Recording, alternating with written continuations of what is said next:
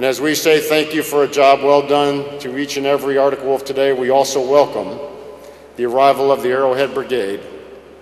For the past year, the 1st Stryker Brigade Combat Team, 25th Infantry Division, served in the Diyala province of Iraq. Today, that brigade is handing over their authority. Colonel Thompson and Command Sergeant Major Cervantes will now case the colors of the 1st Brigade, 25th Infantry Division.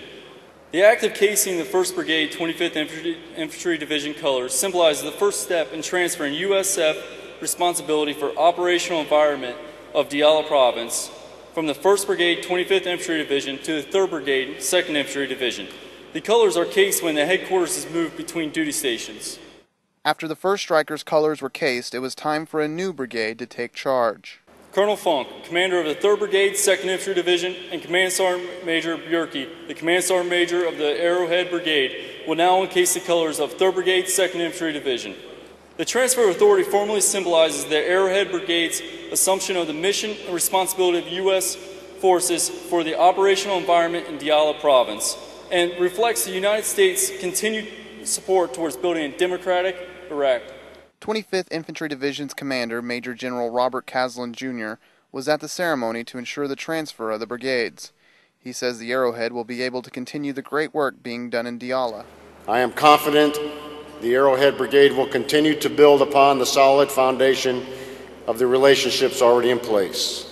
You will succeed because of the great professional soldiers in your unit today the best in the history of the United States military. Commander of the 1st Stryker, Colonel Burdett Thompson, thanked all who had partnered with him in his brigade.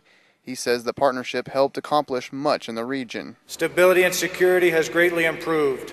We identified, registered, and transferred over 9,000 sons of Iraq, assisted our Iraqi security force partners with the planning, preparation, synchronization, and execution of provisional elections in a province with over a million citizens. Colonel Dave Funk, who is the commander of the incoming 3rd Brigade, says the partnership will be continued. We're extremely proud to be part of your formation. We will do our best to make a difference every day we are here. The 1st Stryker Brigade will uncase their colors and resume their duties at Fort Wainwright, Alaska, while the 3rd Brigade continues to partner with Diyala officials for the next year. The 3rd Brigade, 2nd Infantry Division colors have now taken the place of 1st Brigade, 25th Infantry Division. From the 145 MPAD and reporting for Task Force Lightning, I'm Specialist Christopher Bruce.